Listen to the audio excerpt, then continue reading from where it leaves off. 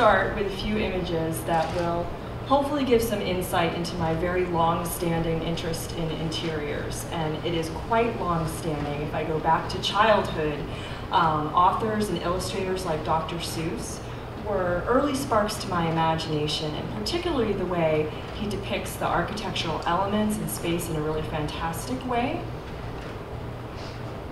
And when I was growing up, my favorite place, this may sound a little weird, was the period rooms in museums. And I would make a beeline for those and imagine all kinds of royal dramas being played out in the space. Um, back at home, I was constantly rearranging the furniture in my house. This is the period room, not my house.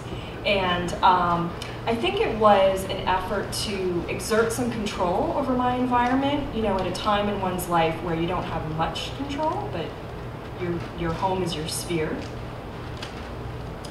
And because furniture and interiors figured so prominently in my imagination, surrealist painters, and particularly some of the women painters like Remedios Varo, um, with their interest in objects as symbols and dream imagery were a big influence on me. And while it's not my picture, I'll just mention that the orange on the screen is way too bright, so just keep that in mind. That'll be my one disclaimer. So this is a very early photograph of mine, and it's a portrait of my sister. And I think that even then, I was as interested in the sofa um, and I don't know if you can tell there's a little lizard crawling around on the back of the sofa. But this sofa almost became my muse. Um, and I worked in different media. Uh, one thing I started doing was making objects to photograph. So I upholstered this couch and sort of put the piano keys out in this sort of surrealist object way. And I made digital collage where I could create the space from scratch, still the red sofa. And this is a monotype. And one source of inspiration was this recurring dream I had of being in a huge pink room and a maze of red sofas and being chased through this room. Sometimes it was a snake, sometimes it was a coyote. Um, and that kind of, here's a pretty good representation of that. And this is a fabric collage that I made. But with the photographs, I realized early on that while I was considering them constructed fictions, not unlike the other work I was doing, um, viewers weren't sure whether they were being presented with reality or not. And writers like Rosalind Krauss and Susan Sontag have written that photography is the perfect medium for surrealism because of its privileged connection to the real world. So a photograph has uh, status of a trace almost, we think of it that way, that it's the light reflecting off the objects that make the representation, almost like a fingerprint. So I found that viewers were drawn in by the familiarity of the scene or the reality of the scene, only to find that things weren't quite right. So in this case, you know, is the bed being taken apart or put back together? Is it broken? You know, more questions are raised. And this feeling of the simultaneously familiar and strange is how Freud describes the phenomenon of the uncanny. And the German word for uncanny is unheimlich, and I'm probably butchering that pronunciation, but he traces the roots of that word to unhomelike. And he writes that it's the name for all that ought to have remained secret and hidden but has come to light. And so an uncanny effect can come about from destabilized opposition. So for example, um, a confusion between the real and imaginary. And I think in this image, this is, this is a window with a view to a landscape beyond, but it's sort of fuzzy and almost looks like a painting or a mirror. Um, you can have a confusion between animate and inanimate. So this static piece of furniture, this sofa, um, has carved animal feet and the fur throw on top of it. And this, this wall is covered with fur, fake fur, but it sort of animates the space and then, and then you have the cat, a real animal, still in the foreground with a line through space. And a confusion between absence and presence. So there never are people in the photographs um, but often a sense that somebody has just walked out of the frame or about to return to the space. And I was going to touch just a little bit on my technical process here. Um, I shoot large format film, still shooting film, and uh, I get a 4 inch by 5 inch negative, which gives me a lot of resolution, we would call it now, a lot of detail. So um, there are things that I'll point out, and I have some details of the images that you would see in a print quite easily that are harder to see on the display. Um, but with large format, you often have longer exposures than you're used to. So I bring my lights with me and you know light the scene. And one strategy that you can see here is a very brightly lit scene and it sort of helps saturate the colors and almost creates this hyperreal sense to the scene. And in others, I let it be more dramatic, let the light sources that are in the image be the main source of light, and then the long exposure exaggerates these shadows. And I think that's another source of uneasiness that might creep into some of the pictures. This is a photograph um, by Jeff Wall. It's called Ventriloquist at a Birthday Party. And he and other contemporary photographers like Philip Lorca diCorcia create these images that problematize the notion of a middle class ideal by creating um, you know, these images that are really full of pathos and anxiety and sometimes isolation.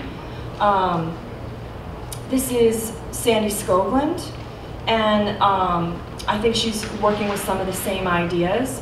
And another aspect of all their work that resonates with me is the use of an implied narrative or an open-ended narrative. So Skoglund creates these constructions um, that have a lot of anxiety to them, but the viewer can only wonder what led to this squirrel takeover and how it will end. And my work, I think, is also about storytelling, but again, really requires the viewer to take some creative initiative. Um, and it's also particularly referencing middle class lifestyles, but again, not without paradox and tension. So, you know, you have this tub and the cord stretched across it is a little fraught. And the embroidery, here's where I have a detail, um, says forget me not.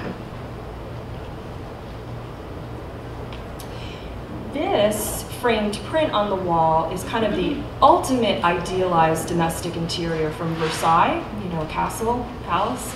Um, and the furniture is, you know, a replica of that style and it's miniature. But here, uh, the towel on it is sort of futilely protecting it from pet hair that's all over it.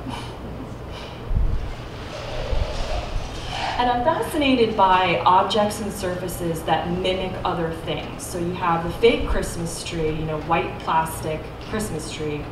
But even the sofa is Naugahyde, which is a leather substitute, right? So something that is more accessible financially to people than, than the real leather. And this runner in the hallway, it's linoleum masquerading as carpet at a time when carpet was out of the reach of many people in the middle class, they would actually print linoleum to look like a carpet. And again, it's hard to tell, but it actually has the weaving in the print on the linoleum.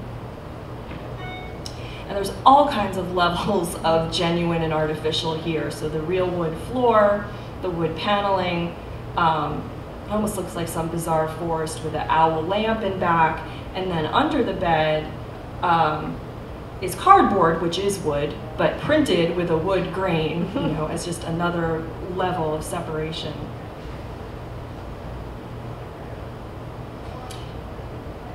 And I love, you know, the clash of era here. You can tell that it's a modern home just from the window, those few architectural details. And again, the 18th century replica of furniture.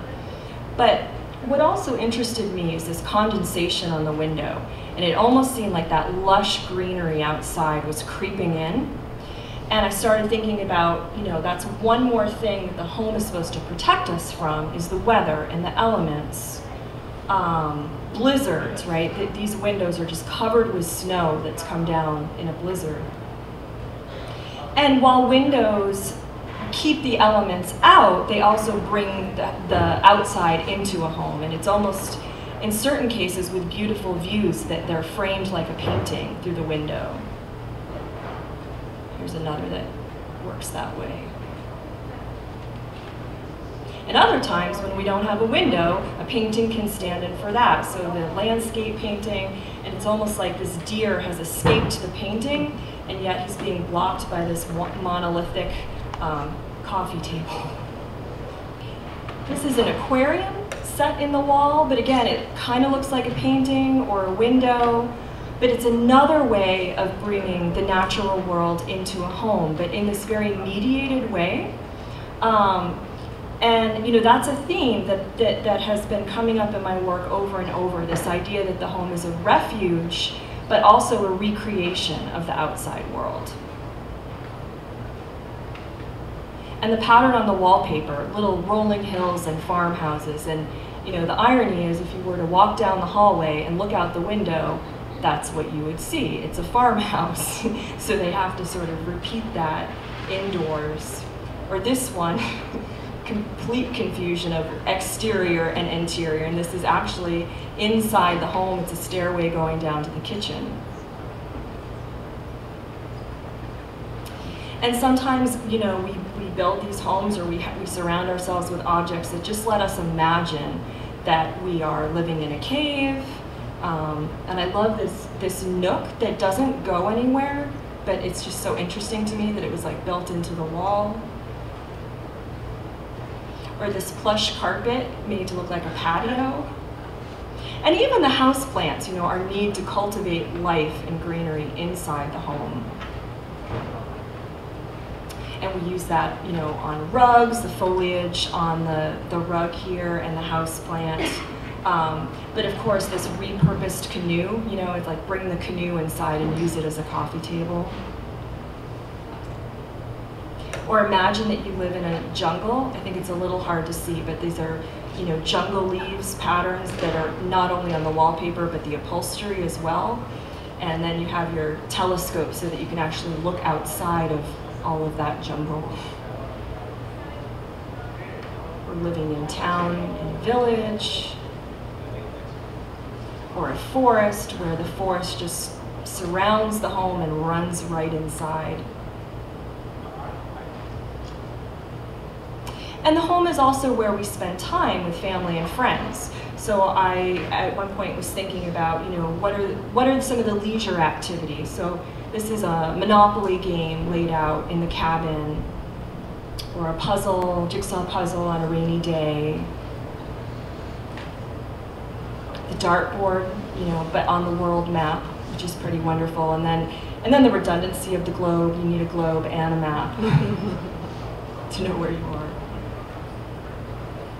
And home is where we dream of getting away from home and learning about other places. So the map, you know, to plan a vacation or, you know, images of the pyramids in Egypt, even in your cabin in the woods. Or to imagine sailing away to a tropical place as you enjoy your cocktail in your basement in Maine